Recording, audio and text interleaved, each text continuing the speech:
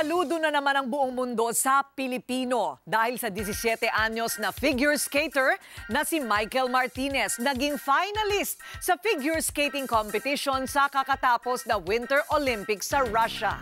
Kapos man sa pondo at dito man sa atin walang natural na yelo. Kinaya ni Michael na maging inspirasyon pa sa lahat sa mundo. Talagang ang Pinoy na ito, bravo sa yelo! Sila ang pinakamagagaling sa buong mundo pagdating sa figure skating. Umiikot, lumilipad, sumasayaw.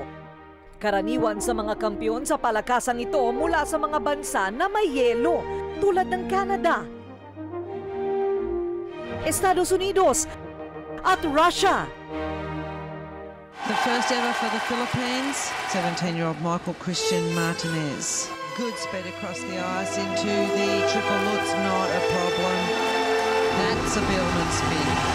Pero paano nangyari na ang batang si Michael Martinez na dito nakatira sa Pilipinas na pagkainit-init at hindi naman dito nagyeyelo ay kinayang makapag-practice at makipagtagisan pa sa mga pinakamahuhusay at magaling na ice figure skater sa buong mundo.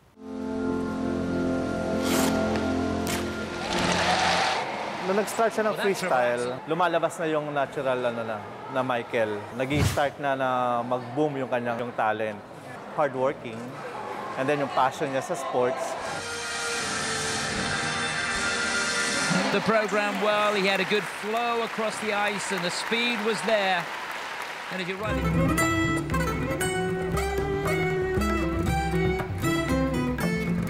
Ito ang Team Pilipinas ng figure skating. Araw-araw halos nagpa-practice sa skating rink ng sikat na mall na ito.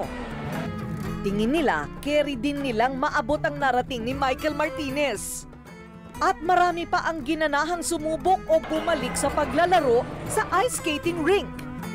Isa na rito ang aktor na si Victor Basa. uh, napaka-inspiring ng, ng ano na ginawa ni Michael Martinez. You know, it's it's it's great. It's it's nice to be back on the ice. Parang ang daming nainganyo na mag-ice skates. Na-notice ko yan last week. Grabe, jump pack yung rink. O ayan, no, ang daming nagpa-practice. So ito talaga ngayon ang tahanan ng lahat ng mga kabataan na gusto lang mag-good time o kaya ay talagang seryosong mag-training sa yelo. Ipapakita ko po sa inyo ha, ayan. Ito po ay tunay na yelo, napakalamig. At naku, napakadulas din. Kailangan talaga tama ang susuotin mo dito. Ngayon, ito ay para na rin yung yelo na natural na natatagpuan sa ibang bansa na pinagpapraktisan ng mga atleta. Ano ang sikreto sa likod ng yelong ito dito sa napakainit na bansa tulad ng Pilipinas? Papakita namin sa inyo. Isa sa mga sikreto kung gaano kakapal ang yelo na kailangang ilatag sa skating, kung masyadong makapal, mahihirapan ang mga cooler na kailangang magpayelo. Kung masyado namang manipis, madaling masira ang yelo ng mga skates. Kaya kailangang tama ang kapal ng tubig na ibubuhos sa kadalasay konkretong pundasyon ng skating rink. Pagkatapos pagyeyeluhin ng mga cooler na minsay may methanol.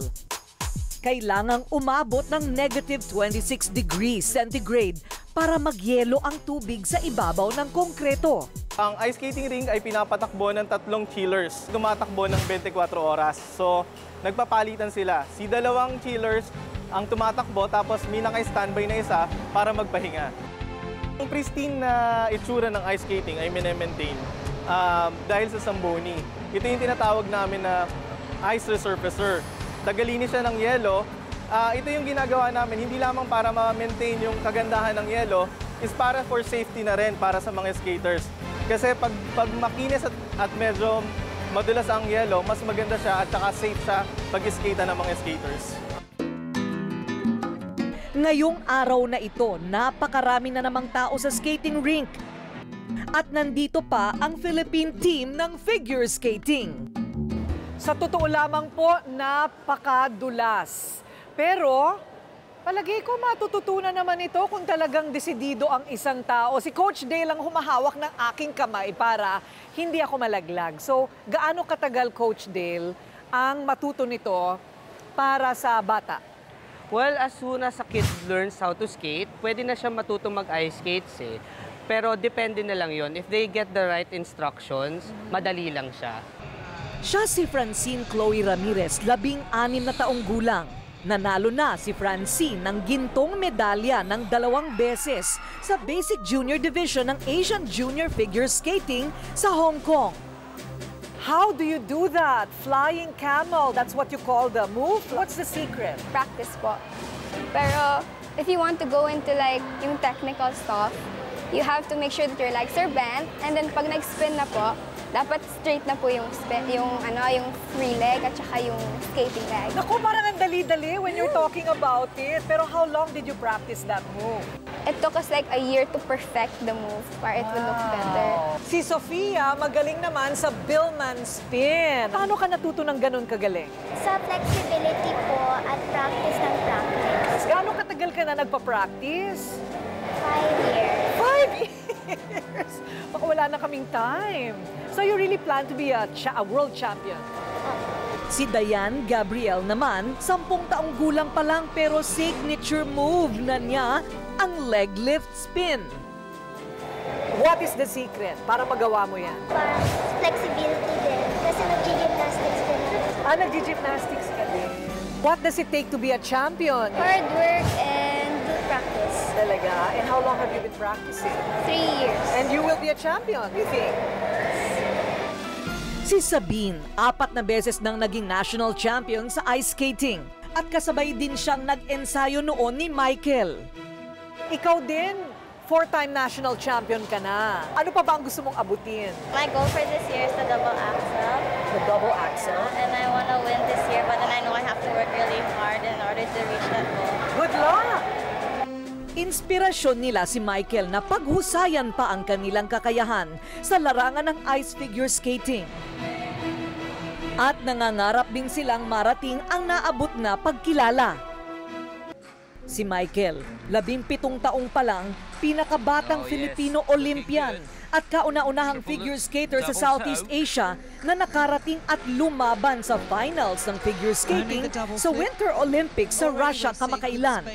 Buo ang kanyang loob sa hindi malilimutang husay sa simula hanggang sa matapos ang kanyang napakagandang performance. Hinangaan. Pinalakpakan.